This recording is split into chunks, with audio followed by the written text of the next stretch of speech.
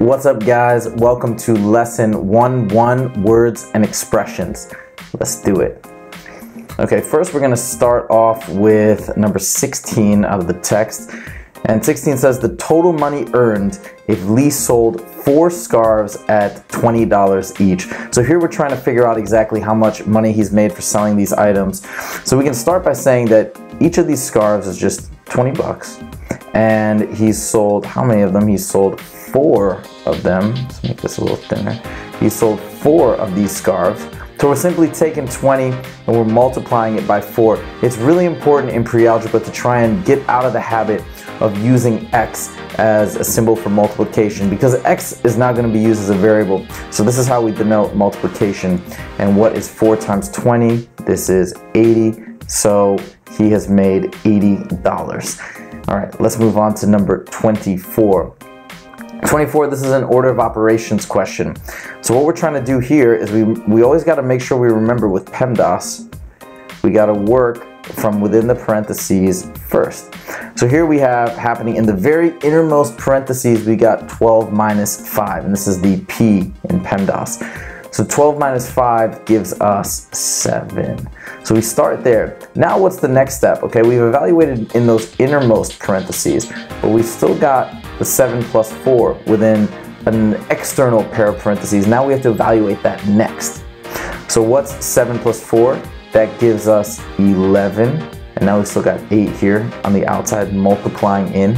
And then we do the final multiplication. What's 8 times 11? That's simply 88 and there's our answer for number 24.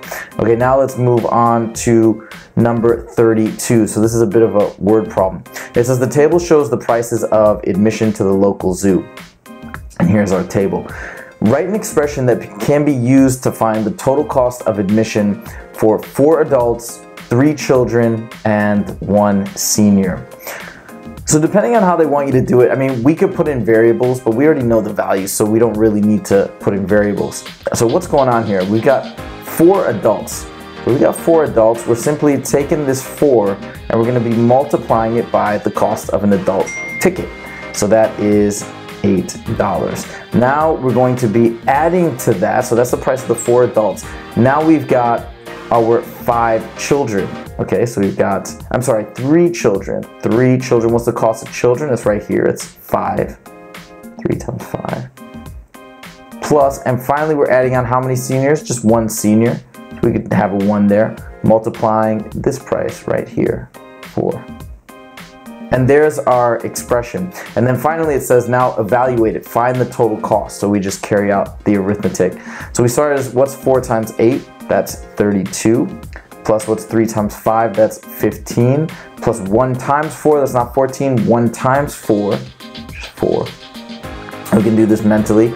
4 plus 15 is 19 plus 32 gives us $51. And it's it's easy to do something like 32 plus 19 because it's almost like 32 plus 20, which is 52, but then we take one away. So 51 is our answer for B.